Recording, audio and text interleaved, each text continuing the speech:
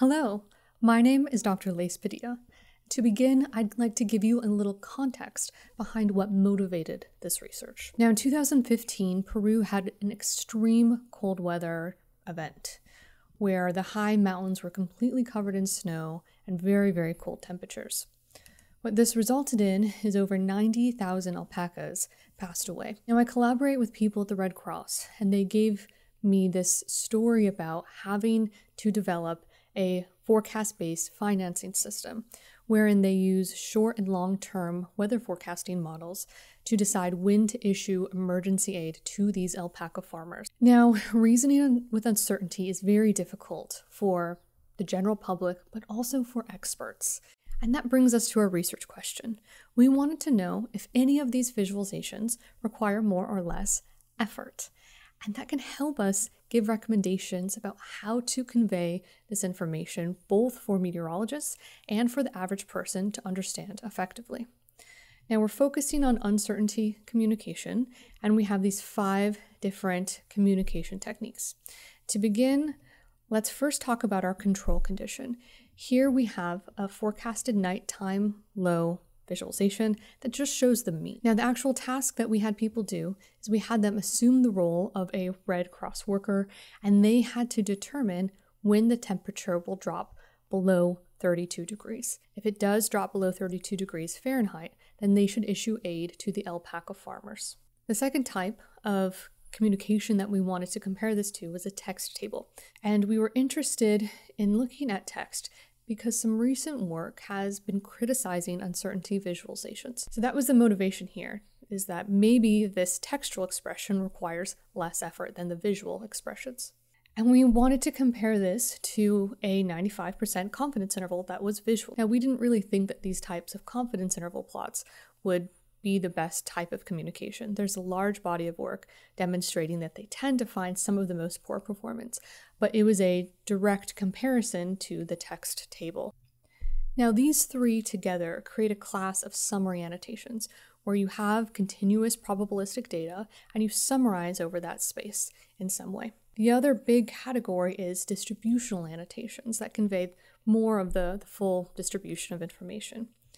Focusing here on the first one, which is a density plot, um, what we wanted to do is to determine if we're really showing more of the spread, if that is useful, or maybe it's more effort to understand because there's really just more information going on here. Now, this density plot is just one of many different types of uh, probabilistic annotations that we could have used. We specifically selected the density plot because it's received so much empirical evaluation and it tends to do fairly well when compared against um, other visualization techniques. The last one is a quantile dot plot, and it utilizes frequency framing. What I mean by frequency framing is expressing something in a format of 1 of 10, kind of a ratio, versus 10% probability. As an example, if I asked you to determine what the probability that the temperature would be 32 degrees or below in this plot, if you try to do that with the density, you would look up 32 degrees and then you would have to mentally do the integral under the curve, which is really complicated to do visually. With a quantile dot plot, what you could do is count up the dots. Each of these dots in this particular version represents a 5% probability. So you could count 5, 10, 15, and then you would conclude that there's between a 15 and 20% probability that the temperature will be 32 degrees or below. And the way we know that is how these are generated. They're based on a cumulative probability function, and we can actually kind of work backwards and determine the explicit probability of any temperature, you know, on these, any value really within the quantile dot plot. And that gives us the five communication techniques that we're going to examine.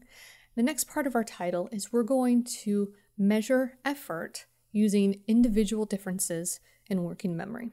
Working memory consists of multiple subcomponents in the mind that stores a finite amount of information for a short period of time. It's really the cognitive process that is responsible for effort. So, this metric of working memory demand is very useful because we can measure it with things like neuroimaging that some visualization studies have done in the past.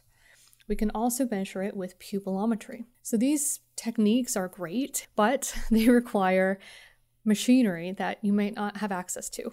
And what we wanted to do is find another way of evaluating working memory that you can do online. So that brings us to the individual differences part of it. What this individual differences approach allows us to do is to look at how people vary in terms of their working memory capacity. So if we find that people with very low working memory capacity have difficulty with one or more of those visualizations, then we would have some evidence that those visualizations required a lot of working memory. And the cool thing about these is that there are standardized measures of working memory that have been developed in psychology. The unfortunate part is that there wasn't any good free online versions, so we made one. The versions that we created are on our online repository. So let's take a look at one of these working memory measures. This is called an O-span task. And what it does is it measures how much information you can store in your mind and, and hold there. In this version, what happens is participants see a math problem for five seconds that they have to solve, and then they see an image that they have to remember. And they see a sequence of math problems and images, and they have to remember the order that the images appear to them. So let's take a look at one. They're presented with this math problem for five seconds and then they answer true false question. Then they remember an object. At the end, they see an array and they have to click on the items in the correct order that they viewed them. And what happens is people will see a four span because there are four items, and then a five span, and then a six span. So we can get um, you know, a coarse measurement of how much information they can store in their mind. Okay, and the last way that we measured effort in this experiment is with the NASA TLX. It's very straightforward. It's just a survey that someone does at the end of an experiment where they just rate how mentally, physically, temporally demanding the task that they just did was, um, how their performance was, effort, and frustration. For the design of the experiment, we had five different groups, and each group only saw one of these communication techniques. Now, within each of these groups, while participants only saw one visualization technique, the visualizations varied based on each trial. So we had different mean temperatures ranging from 31 degrees Fahrenheit to 36 degrees, and then we had three different standard deviations within the data itself. Now let's look at incentives and how we evaluated accuracy. These are the actual instructions we provided. But here I'll summarize. We told people that they had a budget as a Red Cross risk manager. For 18 days, they had $18,000. And issuing blankets cost $1,000 per night.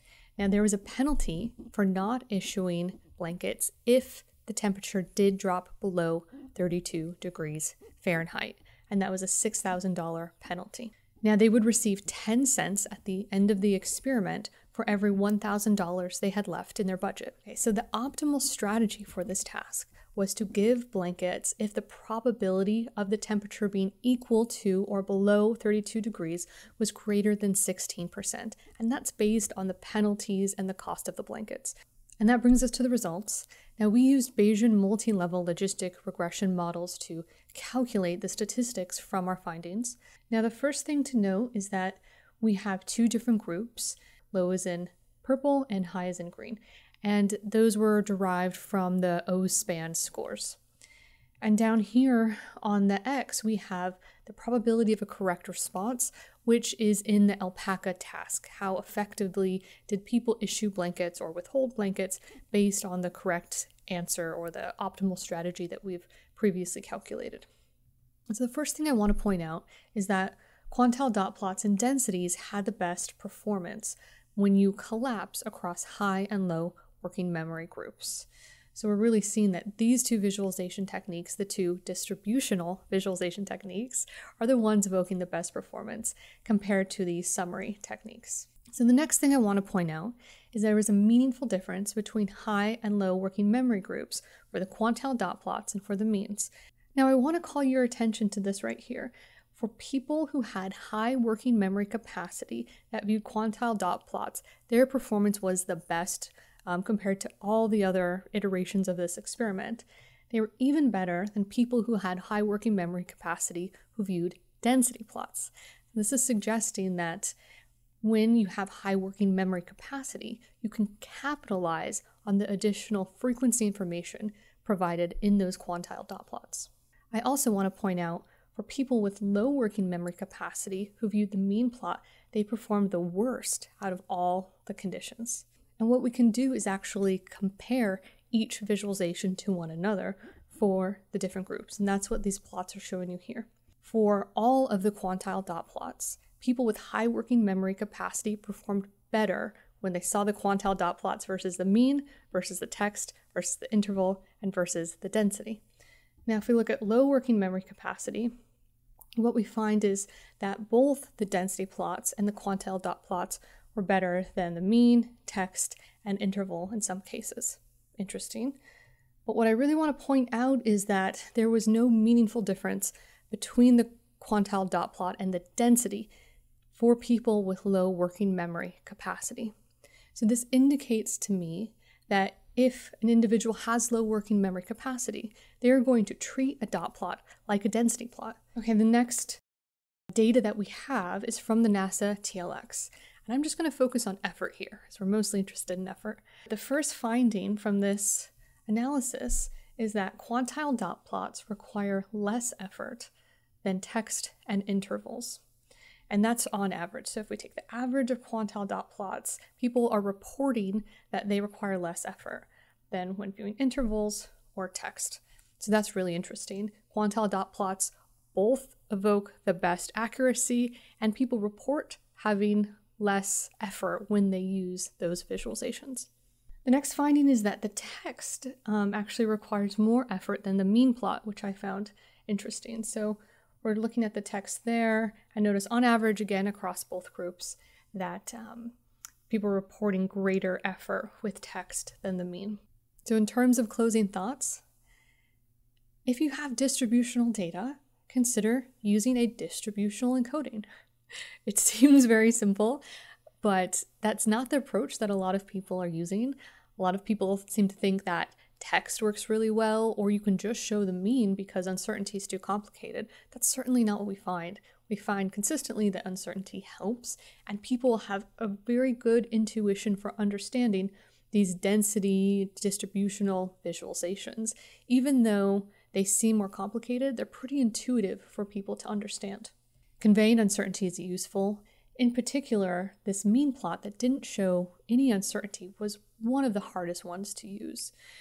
So when you hear a claim that uncertainty is actually harder for people to understand, I don't think that's always the case. It does turn out to be useful in these situations.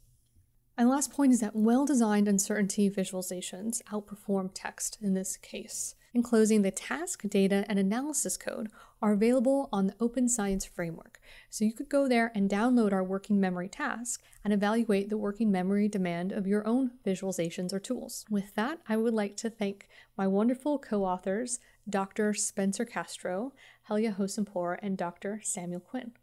Thank you very much.